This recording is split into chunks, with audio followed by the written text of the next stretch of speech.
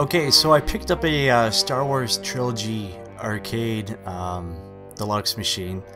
Um, always wanted a Star Wars machine, and this is like the closest I can get to actually owning one. But anyway, um, when I looked at it and everything, the screen was flickering. It would go in and out of focus like just constantly. Um, you know, I had a lot of burn and whatnot. Just kind of, uh, you know, it's just the way it was. And I, I guess it's kind of common for these projection screens to, you know, have issues like this. But um, so all I really did was uh, decided I'm like, you know what, I'm just gonna gut it because uh, I figured that it's gonna be either um, flyback issues or you know the lenses or whatnot they get burns in it and stuff so um, just decided I'll take the easy way and less maintenance way and just rip it all out so I took it out took out all the guts uh, for the monitor. Um, so the middle shelf is completely bare and there's nothing um, in behind no mirrors or nothing. So I just took some wood uh, threw some car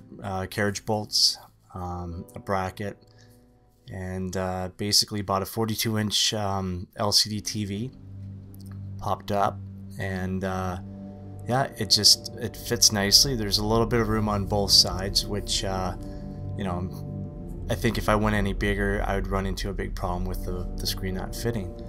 And another bonus is I can get access to all the uh, hookups inside. So I ran extra cables and stuff to the other inputs. So if I ever wanted to hook up a DVD player or Blu-ray player or something like that um, you know make kind of like a multi-machine. Um, so it didn't work with a direct connection, so I ended up buying a, uh, a converter and hooked that up. And I noticed that the uh, the picture wasn't all that great. I'm like, you know, I, you know, people swear by these things, and and uh, so anyway, I let it run for a bit, and um, so since I'm speeding this up to show you what's going on, um, basically after about five minutes of being on, it would basically turn purple. Um, it would just get like a purple haze to it.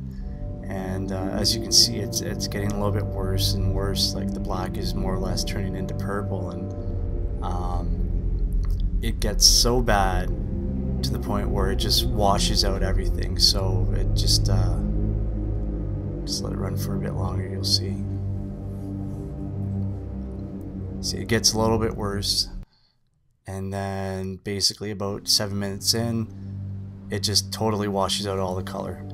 Um, so I, I, got a hold of uh, JAMMA Boards who does sell these and they told me to uh, mess around with uh, some settings. So um, gave it a shot um, and this is what I got. And picture looks gorgeous now.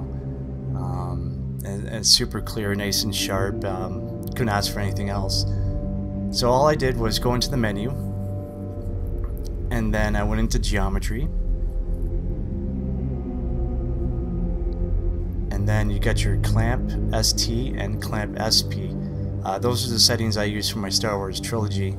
Um, you know it, I guess it varies for different games and whatnot but um, they told me just to mess around with those and and um, yeah it, it, cleaned it right up and I don't get that. I, I left it on for about two hours and uh, the, the picture never changed. It stayed the way it did, and you know, whites are whites, blues are blues, and reds are reds, and I don't get that purple haze anymore. So it's it's super sharp. Love it.